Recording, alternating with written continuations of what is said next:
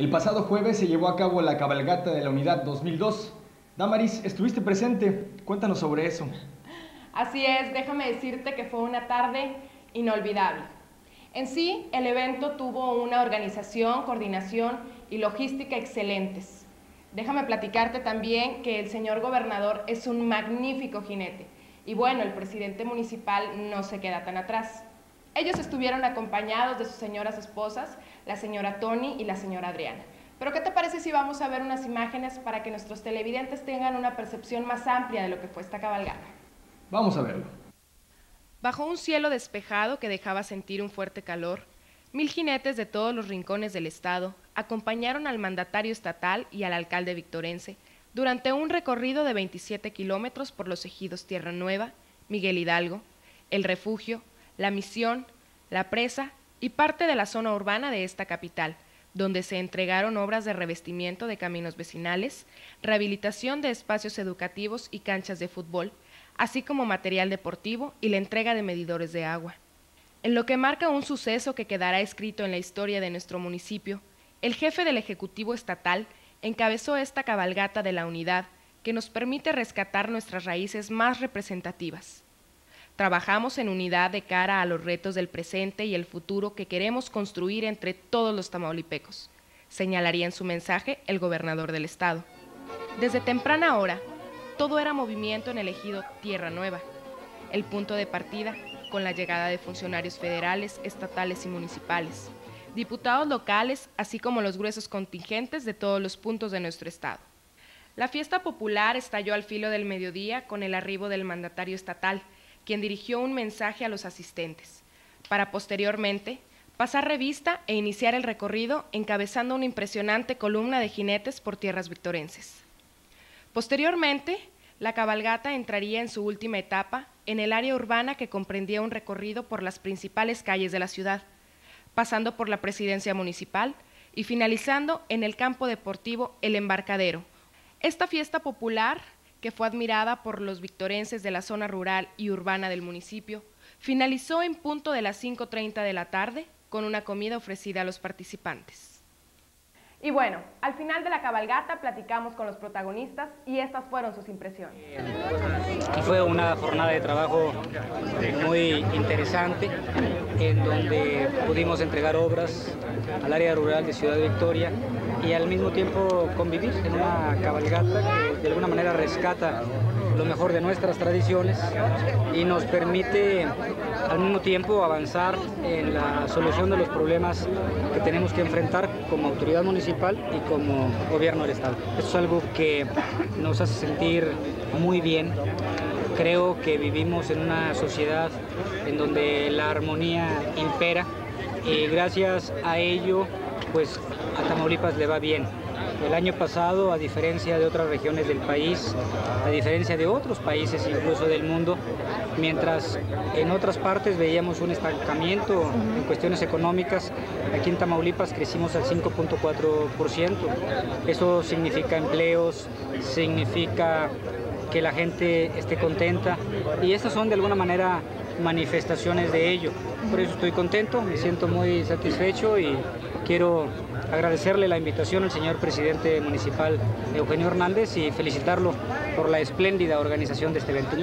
Bueno, fue una cabalgata eh, donde muchos tamaulipecos logramos eh, convivir en un ambiente campirano, un ambiente diferente, un ambiente de camaradería y yo creo que fue muy productivo, muy cansado, pero muy productivo, venimos muy contentos, hubo mucha respuesta de la gente. Me dio mucho gusto que aquí al llegar a la ciudad la gente nos recibió muy bien. Y la verdad, pues muy contentas. Este, yo creo que es un momento de convivencia entre pues, varios este, municipios y pues aquí terminamos muy bien. Pasando a otros temas, en Ciudad Victoria ya está instalado el Consejo Municipal de Salud.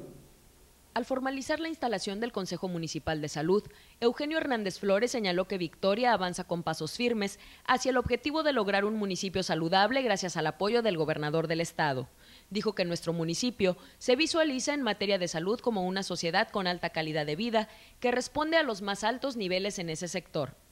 Este consejo, donde participarán representantes de instituciones públicas y privadas, organizaciones sociales y todos los sectores de la población, tendrá como objetivo mejorar los niveles de salud en nuestro municipio, mediante la realización de proyectos definidos que serán ejecutados y evaluados por la propia ciudadanía, así como el asesoramiento al presidente en todas las acciones que se realicen en esta materia.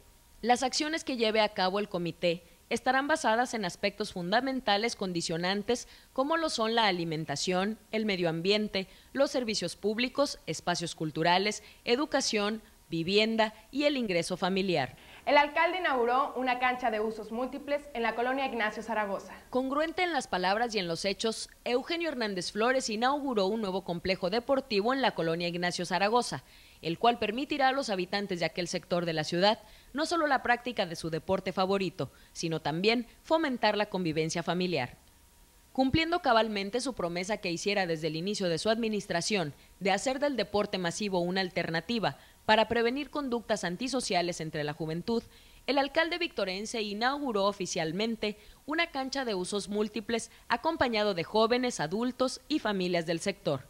Dijo que una de las acciones que permiten a la juventud alejarse de las drogas y la delincuencia es la práctica de algún deporte, por lo cual destacó que durante las últimas semanas se han estado abriendo y rehabilitando espacios deportivos en diferentes puntos del municipio. Dijo que una de las acciones que permiten a la juventud alejarse de las drogas y la delincuencia es la práctica de algún deporte, por lo cual destacó que durante las últimas semanas se han estado abriendo y rehabilitando espacios deportivos en diferentes puntos del municipio. Y en el marco deportivo se premió a los campeones ciclistas. Los ganadores del Campeonato Municipal de Ciclismo disputado el pasado domingo fueron premiados por el alcalde victorense Eugenio Hernández Flores, en presencia del rector del deporte local, Armando Arce Serna, así como de los regidores Marigeli Sámano Quiroga y Rodolfo Lara, el presidente municipal entregó trofeo y suéter a los campeones. En la categoría juvenil B, Eric Linares acaparó los máximos honores. En juvenil C, Cristian Vázquez. En primera fuerza, Juan Carlos Trujillo. En la categoría elite, Juan Manuel Martínez. En veteranos A, Rigoberto González. En veteranos B, Jaime Mendoza. Y veteranos C, Elías Soto. De esta manera, el ingeniero Eugenio Hernández Flores continúa cumpliendo su palabra en el sentido de apoyar con fuerza a los deportistas victorenses. Por otra parte, Hernández Flores exigió a la Comisión Federal de Electricidad la bonificación al ayuntamiento de más de 3 millones de pesos. Durante una entrevista sostenida con el ingeniero Adán González García, superintendente de la Comisión Federal de Electricidad Zona Victoria, el alcalde Eugenio Hernández Flores propuso la devolución por parte de la paraestatal de 3.400.000 pesos, cantidad que ha cubierto el ayuntamiento en los últimos años por concepto del pago de energía eléctrica, la cual se ha visto reducida considerablemente con la instalación de lámparas ahorradoras de energía en todo el municipio. Cabe destacar que la Comisión Federal de Electricidad cobra una tarifa fija de 12 horas al ayuntamiento local por concepto de energía, el cual, insistió el alcalde, ha sido reducido en los últimos años. En este concepto, el superintendente prometió analizar el asunto. Otro de los puntos de la reunión fue el analizar la posibilidad de reducir de 12 a 11 horas la tarifa establecida, la promesa fue analizar el asunto. Con nuestra compañera Susana Martínez, quien ya nos tiene preparada la información del sistema DIF municipal. ¿Qué tal amigos? Es un gusto saludarles de nueva cuenta. Esta es la información del sistema DIF municipal.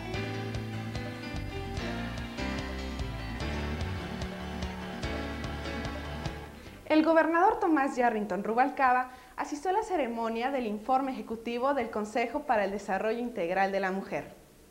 En Tamaulipas, la incorporación real de la mujer al desarrollo en muchos campos de la vida en la entidad es efectiva.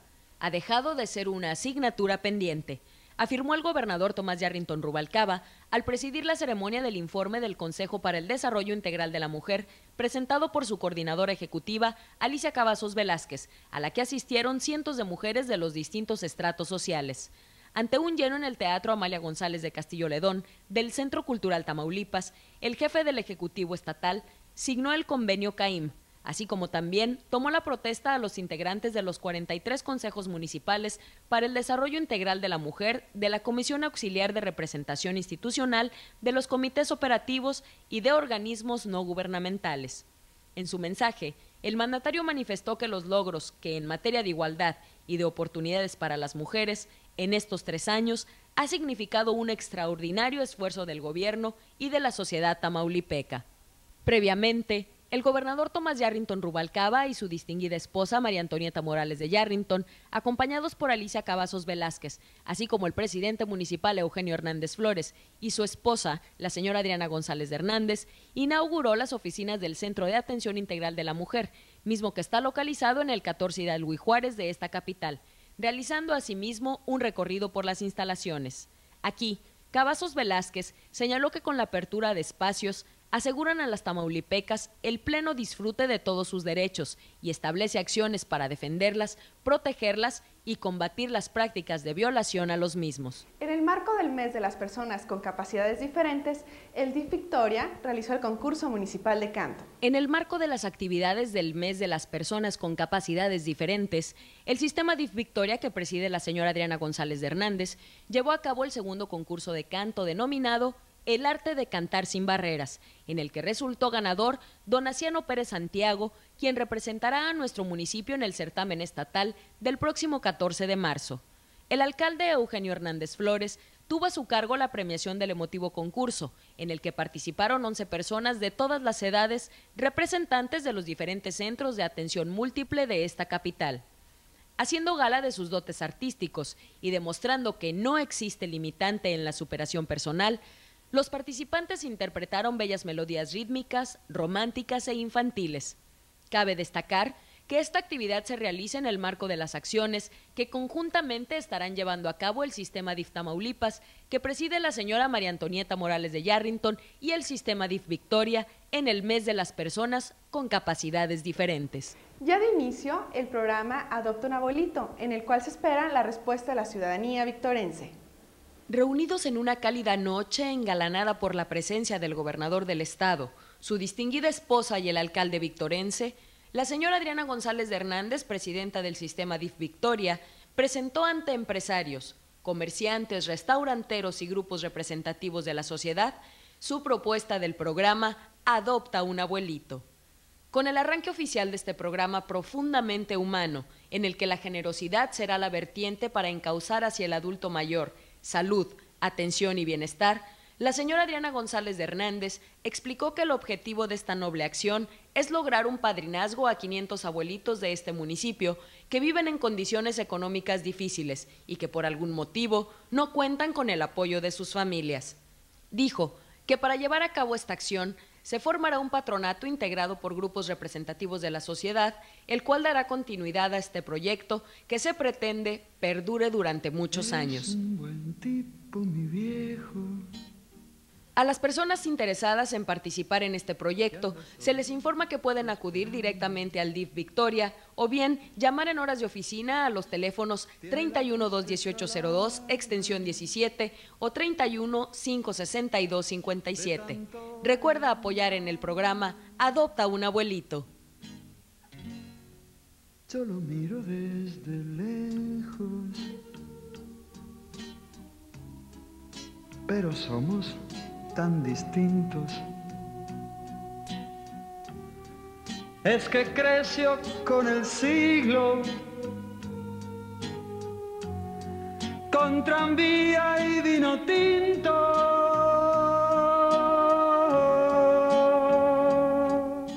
Esta ha sido toda la información del sistema DIF municipal. Los espero la próxima semana. Muchas gracias. Es todo por nuestra parte, lo esperamos la próxima semana con más de su noticiero municipal. Se despiden de usted Alejandro Cancino. Y Damaris Mazoco. Y recuerde participar en el programa Adopta un abuelito.